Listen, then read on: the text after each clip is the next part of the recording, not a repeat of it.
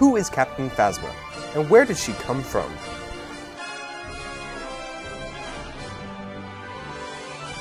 Captain Phasma, who is potentially the most interesting character of the new trilogy, is a First Order officer who is a force to be reckoned with.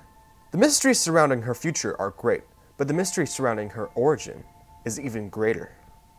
The official story, crafted by J.J. Abrams, states that Captain Phasma's name was inspired by the 1979 movie Phantasma, a horror movie, of which Abrams declares he was a fan.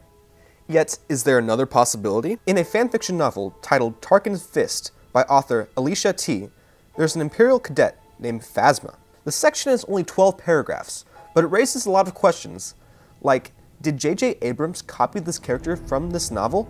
And does he actually read fan fiction? We know that JJ considers himself a geek, but would he really copy fan fiction? Even though the possibility of him reading our fan fiction when writing The Force Awakens is exciting, there's sadly no proof that this was the origin of Phasma.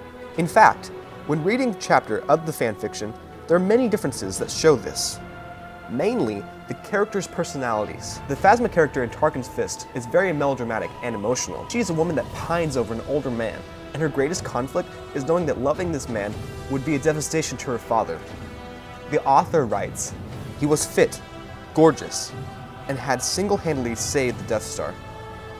The pilot was a certified hero of the Empire, and sadly, he didn't even know she existed. This is very different from the Phasma in The Force Awakens, a strong, independent woman who don't need no man. It is for this reason that I can't imagine J.J. Abrams copying this character from the Tarkin's Fists novel. Thank you so much for watching this video. If you like this content, then please share it. And as always, may the Force be with you. And subscribe.